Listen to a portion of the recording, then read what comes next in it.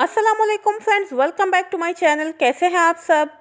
मासूम और भोली भाली सी नज़र आने वाली सायरा यूसुफ ने भी आखिरकार बोल्ड अदाकारा का लेबल अपने नाम के साथ जोड़ ही लिया। सायरा यूसुफ और शहरिया मनवर का रिसेंटली करवाया गया बोल्ड फोटोशूट जिसे देखकर हर कोई काफ़ी गुस्से में है।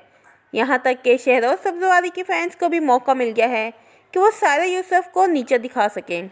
क्योंकि सारा यूसुफ और शहरों सब्जवारी की तलाक के बाद से ही हर कोई सारा यूसुफ के साथ हमदर्दी करता हुआ और शहरों सब्जवारी को बुरा भला कहता हुआ नज़र आया। लेकिन अब तो जैसे शहरों सब्जवारी के फैंस को मौका ही मिल गया, सारा यूसुफ को गलत साबित करने का। लोगों ने किस तरह के कमेंट किए और क्या क्या अल्फाज इस्तेमाल किए सारा यूसुफ के बारे में दिखाएँगे आपको आगे चल के, लेकिन उससे पहले आपसे रिक्वेस्ट है कि वीडियो को लाइक करना और चैनल को सब्सक्राइब करना मत भूलिएगा। सारा यूसुफ के बोल्ड फोटोशूट के बाद लोगों ने उनको काफ़ी तनकीद का निशाना बनाया। किसी ने लिखा कि इसीलिए डाइवोर्स ली थी।